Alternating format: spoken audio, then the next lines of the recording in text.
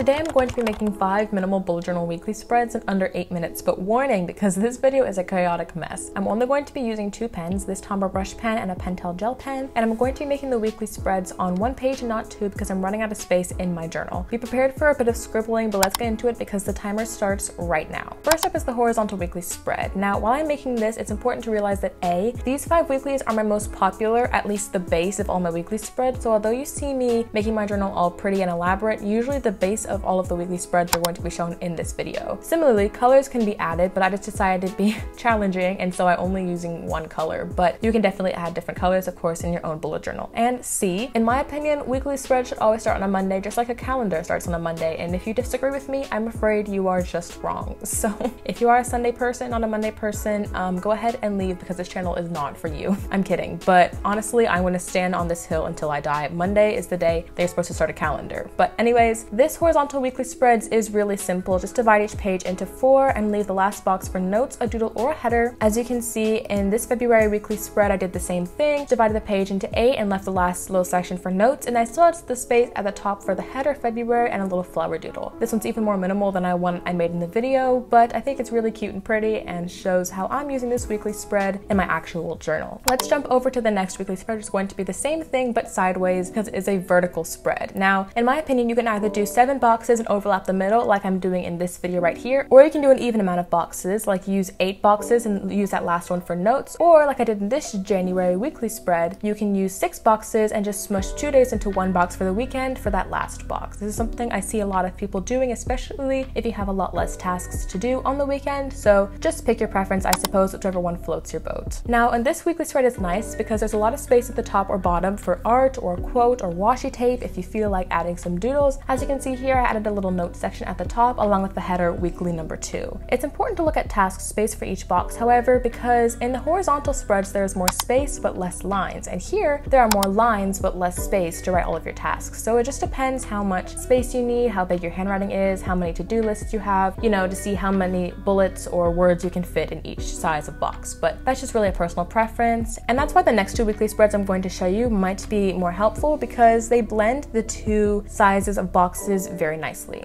This next weekly spread I'm going to be showing you is what I want to call the eight boxes, and it's the best of both worlds and my personal favorite of the weekly spreads in this video. Basically, all you have to do is divide each page into four boxes, and there is the perfect height and width of each box for sufficient notes and lists. I think it's the perfect width and height to have perfectly enough bullet points for all the tasks in the day, but also enough width that you can fully like write out each of your tasks and don't have to shorten them because there's not enough space. This is also the fastest weekly spread to make because all I had to do was essentially draw two T's to divvy up the spreads, and now you have two pages divided into four blocks, and it makes your life really simple. In this weekly spread, I also added a little section called Weekly 3, and I wrote a little calendar, although because it was on a half spread, I didn't have space for a full calendar, but just pretend like it has all 31 numbers in there, and that's basically it for this particular weekly spread. Now, this has to be the most classic of classic weekly spreads ever. Like, I feel like everyone who bullet journals uses this kind of spread, but that's because it's really easy. As you can see, I used this exact same weekly spread this May, although it's quite a bit more doodly and much more interesting, but I had space for all of my to-dos, even though this was an incredibly busy week, and I think the weekly spread turned out really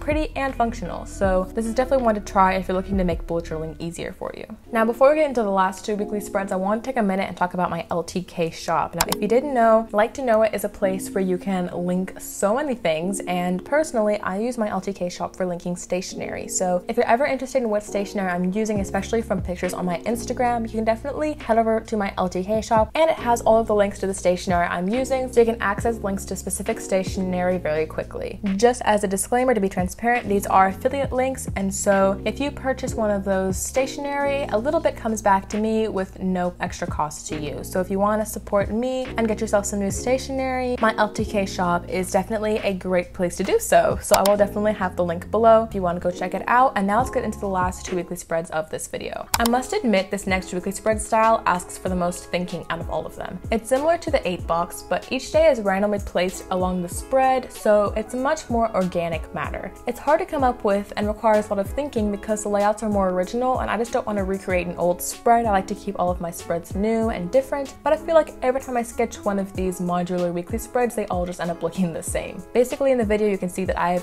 just have sections for each of the days of the week, although they are not in boxes, they can be, but I personally just don't have one here in this case. I also have a little section for notes, and a little quote slash playlist at the very bottom. Another benefit about this spread is that it's easier to mold each box around a piece of artwork or ephemera. As you can see in this March weekly spread, I was playing around with scrapbooking in the top corner, and it's also easier to play with fonts because there's more room to change the sizes and width of your lettering, etc. So overall, it's definitely a more versatile weekly spread, although it requires a little more thinking on my part. Okay, now let's move into the rolling weekly, and this one is a little different than all the others because it divides to-do lists with events. So for my bullet journal, I mostly have to-dos in my weeklies, and a lot of events are focused in my calendars, which is why these last four weeklies have been to-do list focused. But some people are different and use their bullet journaling more for events. So for you event people out there, this weekly spread is for you. It separates one side into daily boxes for events. As you can see on the left, I have eight little boxes and one last one for notes. And then on the right, it has a long mass to-do list for the entire week. And basically you could just list out your to-dos and draw a little dot under what day it needs to occur on. Sometimes when I have a to-do busy week, but not to-dos that are focused on every day, this can also be very helpful because you can change the date that you need to do that task by adding another notch on the lines, as you can see here on the screen.